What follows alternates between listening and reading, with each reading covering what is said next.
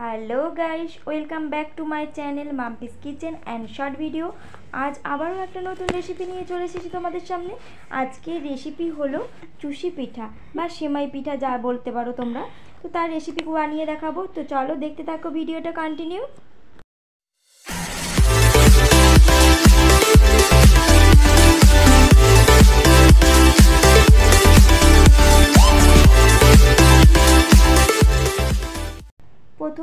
দেখো, এখানে কড়া বসিয়ে দিয়েছিলাম, কড়াটা হালকা একটু গরম করে নিয়েছি। তারপর এই কাপের মাপ করে আমি মিনিমাম দু কাপের মতো সুজি দিয়ে দিয়েছি।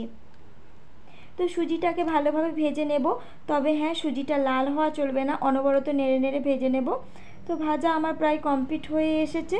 তো এর মধ্যে দিয়ে দিচ্ছি দুধ। তো দুধটা পরিমাণ মতো দিয়ে দেওয়ার পর দিয়ে দিলাম অল্প সামান্য পরিমাণে লবণ। তো দিয়ে ভালোভাবে মেখে নেব। তো কড়ার মধ্যে কিছুটা মেখে নেব, তারপরে আমি থালায় ভালোভাবে মেখে নেব। কড়াতে মাখা হয়ে গেছে, তারপরে আমি একটা প্লেটে নামিয়ে নিলাম। তো থালাতে ভালো করে নিয়ে, নামিয়ে নেওয়ার পর ভালোভাবে হাত দিয়ে চেপে চেপে মেখে নেব। খুব গরম আর বেশি ঠান্ডা হওয়া যাবে না। তো ওপর থেকে একটু সামান্য পরিমাণে ময়দা ছড়িয়ে দিয়েছিলাম। তো ময়দাটা দিয়ে ভালোভাবে মেখে নিয়েছি। দেখো একটা ডো তৈরি হয়ে যাবে মাখতে মাখতে। তো বেশি এটা ঠান্ডা করা যাবে না। বেশি ঠান্ডা হয়ে গেলে শক্ত হয়ে যেতে পারে, তখন আর মাখা যাবে না। তো এখানে ভালোভাবে ডোটা তৈরি হয়ে গেছে। তো সেখান থেকে অর্ধেকটা নিয়ে নিলাম আর অর্ধেকটা বিচা ন্যাকড়ার মধ্যে চেপে রেখে দিয়েছি। তো তাতে ভালো থাকবে, ওটা নরম থাকবে। তো এরপর থালার উপরে কিছুটা ময়দা ছড়িয়ে দিলাম। তারপর এইখান থেকে দেখো, একটা লম্বা রো করে নিয়েছি। লম্বা রো করে নেওয়ার পর এই রকম ছোটো ছোটো টুকরো করে নিয়ে জাস্ট এরকম হাতে করে এই রকম করে দেবো, শেপের তৈরি করব।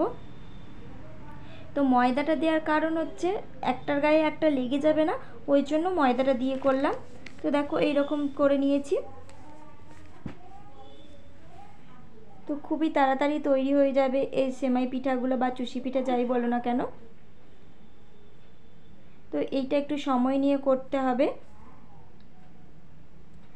ওপরে অবশ্যই ময়দা ছড়িয়ে দিতে হবে, না হলে একটার গায়ে আরেকটা লেগে যেতে পারে। তো আমার সবগুলো তৈরি হয়ে গেছে। তারপরে উপর থেকে খুব ভালোভাবে চষি পিঠাগুলো পরে ময়দা দিয়ে দিয়েছিলাম, তো এরকম ঝাঁকিয়ে নিলাম। তো এখানে চুষি পিঠা তৈরি হয়ে গেছে, তারপর এখানে কড়াইতে সামান্য পরিমাণে চিনি দিয়েছি। চিনিটাকে আমি ক্যারামেল করে নিয়েছি। তো ক্যারামেলটা হয়ে গেছে, তার মধ্যে অল্প পরিমাণে একটু জল দিয়ে দিলাম। তো জলটা দেওয়ার পর এইখানে দুধটা দিয়ে দিচ্ছি। যতটা পরিমাণ দুধ লাগবে, পরিমাণ মতো দুধ দিয়ে দিলাম। তো দুধটা দেওয়ার পর দু চামচ আমি এখানে আমুল দুধ দিয়ে দেবো।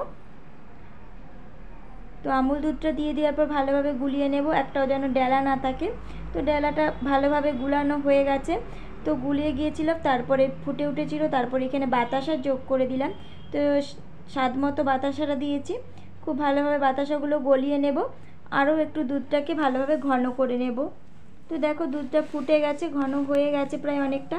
এরপর একে একে চুষি পিঠাগুলো ছেড়ে দেব দুধের মধ্যে।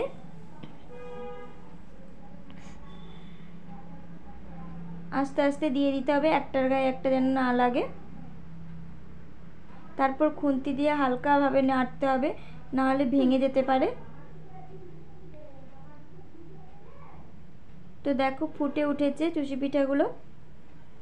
প্রায় এগুলো সেদ্ধ হয়েই এসেছে। তো সেদ্ধ হয়ে যাবার পর দেখো ফুলে উঠেছে কতটা